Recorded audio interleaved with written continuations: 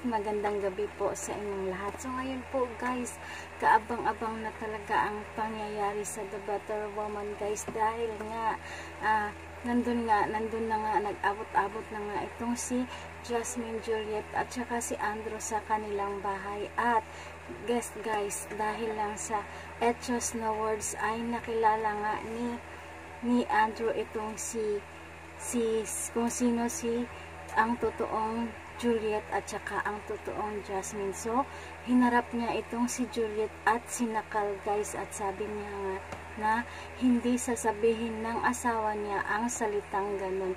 Kaya sinakal niya ng sinakal itong si Juliet at pinigilan nga siya nitong si Jasmine dahil nga baka daw mapatay niya itong kapatid niya at yun nga dumating nga itong si Rolando at at gusto nga niyang ano kunin yung dalawang kambal pero itong si Andrew ay nanlaban at hinampas nga siya ng sa kanyang ulo at yun nga nahimatay siya. At yes at yun guys si Just si, si Juliet ang kinuha talaga ni Rolando dahil nga nakilala niya ito sa pananalita at sa sa kilos. At yun nga dinala niya ito at uh, dinala niya sa kanilang bahay at yun nga, mabuti na lang dumating yung mga pulis at uh, naidala nga itong si Andrew doon sa ospital. Itong si Juliet ay nagpupumiglas nga guys dahil ayaw niyang sumama doon kay Rolando. Pero wala siyang magawa dahil nga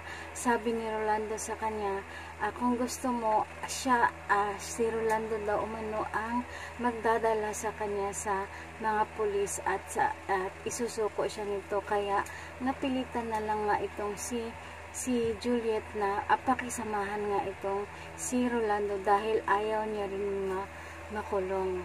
Sa ospital guys, habang naglalakad itong si Erlinda at saka yung kasama niya ay nakita nga nila itong si Jasmine at hindi nga sila naniwala na ito na nga ang totoong Jasmine at sinabi pa niya na awag ka nang mag, uh, magmaang-maangan dahil nga ka, kilala na namin, kilala na umano nila yung kaharap nila at yun nga daw ay si Juliet. Pero itong si Jasmine ay ikinwento nga doon sa kanyang mama Erlinda ang mga nakaraan nila at yun nga uh, naniwala talaga ang kanyang nanay na totoong Jasmine na talaga ang kanilang kaharap. At yun nga guys kwento doon Jasmine kung ano ang pinaggagawa sa kanya ni Juliet at kung paano siya nilagyan ng tato at saka yung pagpatay din kay Angela ay ikinuwento nga ni ja, ni Jasmine sa kanyang nanay. Kaya hindi nga makapaniwala itong si Nanay Erlinda na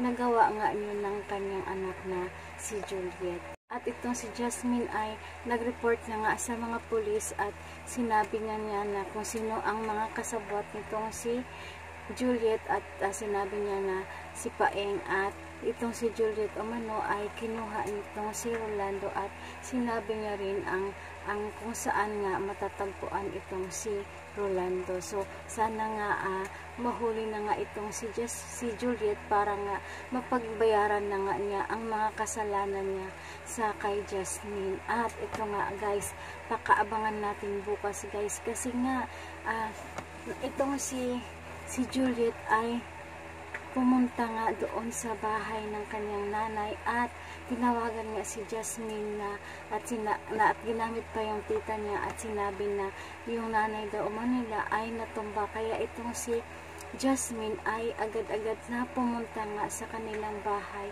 At yun nga andun si Juliet at saka yung mga tauhan nitong si Rolando. So at so yun guys so bukas guys yun ang pakaabangan guys. Dahil nga maghihiganti na naman itong si Juliet. So, uh, pakaabangan natin guys kung uh, sino kaya ang mawawala na naman dahil nga uh, naghihiganti nga itong si Juliet. So, ang um, pinigilan nga siya ng kanyang mama pero walang magawa nga itong si Erlinda dahil nga sa galit nitong si Juliet. So, yun lang po ang aking update guys. So, maraming maraming salamat po sa inyong panonood.